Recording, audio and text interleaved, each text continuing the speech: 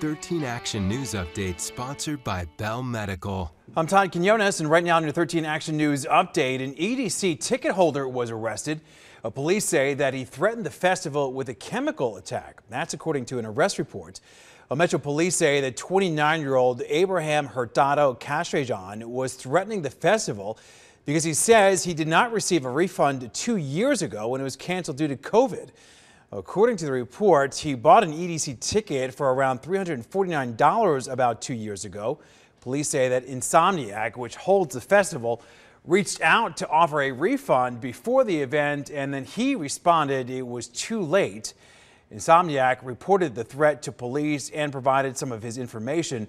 The 29 year old right now faces multiple charges, including making threats about acts of terrorism. And the Culinary Union hosted another rally on the Las Vegas Strip Thursday evening. Hundreds of hospitality workers taking part in this event. The union says the rally was all about getting people back to work. A Fremont Street Experience has announced its New Year's Eve lineup, so it's going to feature an 80s and 90s theme.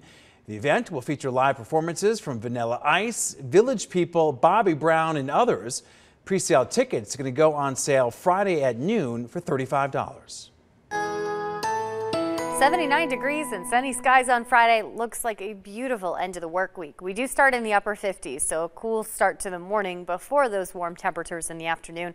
Ridge of high pressure is still holding steady, which keeps us warm as we work our way into the weekend. 81 the forecast high on Saturday, but we will start to see an increase in cloud cover on Saturday and an increase in wind speed on Sunday.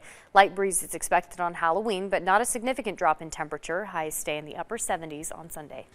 Danny, thank you. That was your 13 Action News update. Remember, you could always get the latest news at ktnv.com.